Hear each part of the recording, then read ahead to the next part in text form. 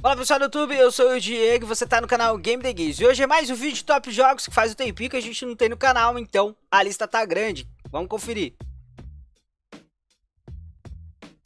Primeiro jogo dessa nossa lista Rise Down, cara, um jogo no estilo parkour, bem interessante, com gráficos muito bonitos, como vocês estão vendo aí nas imagens, mas tem alguns pontos negativos, um deles é o excesso de propagandas que você tem para poder estar tá jogando o game, tanto para iniciar uma partida, como para voltar pro lobby, você sempre assiste uma propaganda, tá? Outro ponto negativo na minha experiência de gameplay é a sensibilidade que não é das melhores, e também a gameplay que não é tão dinâmica para proposta de um jogo de parkour. Mas se você quiser experimentar, o link vai vai estar na descrição, é direto da Play Store aí para os curiosos. Dying DayZ, cara, o jogo de sobrevivência que está sendo desenvolvido e enquanto está sendo desenvolvido, está sendo atualizado e está disponível já para download direto da Play Store, tá? O jogo não tem lá o, aquelas mecânicas 100%, mas como eu falei, está sendo desenvolvido aí. E tá bem interessante, tá bem bonito, como todo jogo survival de zumbi, o, enfim, o grande objetivo é você captar recursos durante a sua gameplay, se você quiser experimentar, o link está na descrição, tá bonito sim, você pode acompanhar aí o, a evolução desse game game, é claro. Você que tá um pouquinho atrasado, mas o próximo jogo da nossa lista aí se trata da terceira temporada do Life After, cara. O jogo já foi lançado há algum tempo, mas nessa terceira temporada eles exploram aí um ambiente mais urbano, tá? Pra quem inicia gameplay também tá bem mais explorável, com veículos e tudo mais. Life After é um dos maiores jogos do gênero aí DPS de sobrevivência multiplayer, vai valer a pena você aí que nunca experimentou o jogo no estilo experimentar aí o Life After nessa terceira temporada, também disponível direto da Play Store.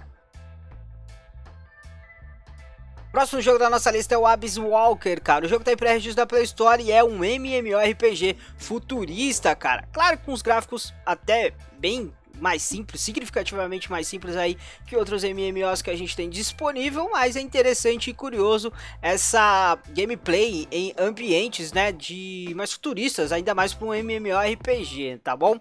O link vai estar na descrição para quem quiser experimentar. É, claro, vai ter que esperar ele ser lançado, pois ainda está em pré-registro e a beta que estava rolando, creio que já fechou, tá bom? Link na descrição aí direto da Play Store para quem tiver na expectativa de experimentar esse game. Blockbusters é o próximo jogo da nossa lista e se trata de um TPS meio que hero shooter ao mesmo tempo, tá? Cada personagem tem habilidades específicas aí durante a gameplay. Você também utiliza armas corpo a corpo. Infelizmente não deu para estar tá jogando ele, pois ele não estava disponível para download. Não encontrei nem mesmo no TapTap. Se eu encontrar o link vai ficar aqui disponível para vocês. Mas para compensar isso aí a gente tem um outro Hero Shooter TPS que chegou e a gente fez vídeo aqui no canal. Bom pessoal, tô falando do Protectors, cara, um Hero Shooter TPS também disponível direto para Store que já teve vídeo no canal, tá? O jogo está em acesso antecipado e bem limitado aí, apenas com quatro personagens para você estar tá jogando. O grande destaque é os controles que são bem simples, com tiro automático, um analógico e um botão de habilidade, só para todos os personagens que você for jogar, cara. É bem interessante, tá com um pouquinho de lag, mas dá para se divertir, tá bem bonito o game, como vocês estão vendo aí nas imagens da gameplay que a gente fez, e se você procurar aí no feed do canal, canal, você vai encontrar uma gameplay bem longa aí com todos os modos de game, conhecer bastante aí como é o jogo. Link vai estar na descrição para quem quiser baixar e experimentar o game também.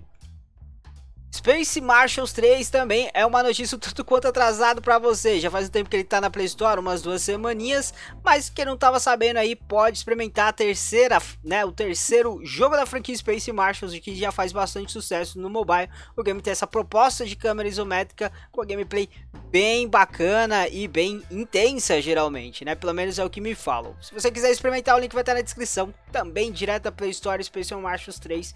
Tá aí para quem quiser jogar, cara.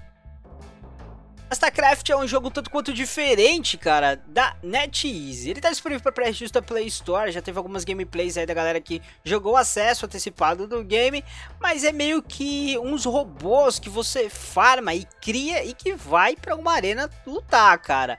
É bem estranho a gameplay, você começa com uns robozinhos bem esquisitinhos, pequenininhos, é como se você montasse pedaços de Lego e fosse pra luta com as configurações que você fizesse nesses pedaços de Lego, tá? Quem ficou curioso, o link vai estar na descrição, é pré-registro direto da Play Store também, se encontrar um download pra gameplay direto lá do TapTap, também vai estar disponível para vocês aqui.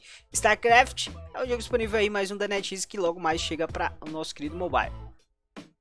Hellbox é uma franquia tanto quanto já conhecida na nossa plataforma mobile, né? Um joguinho de box para celular. Chegou a sua segunda versão, Hellboxing 2 está disponível na Play Store para quem quiser fazer o download e jogar essa nova versão do game. Se você já jogou a primeira, gostou ou parou de jogar e quer experimentar essa nova versão, ou se você nunca experimentou, tá aí uma oportunidade de experimentar um game atualizado e consideravelmente clássico na nossa plataforma mobile. Link direto da Play Store para quem quiser experimentar. DJ Down ou Down, eu não sei como exatamente se pronuncia isso, mas é um jogo de luta, o tanto quanto antigo, até na expressão aí de gráfico, como vocês estão vendo na gameplay, mas bem interessante aí, disponível direto da Play Store, cara. O game é um jogo de luta de samurais, é, com vários botões aí na tela para você fazer gameplay, inclusive esse botão de direcional é até bem clássico, tá? Se você ficou curioso, o link vai estar na descrição, creio que vai rodar muitos aparelhos aí, devido a essa qualidade gráfica bem simples e bem básica.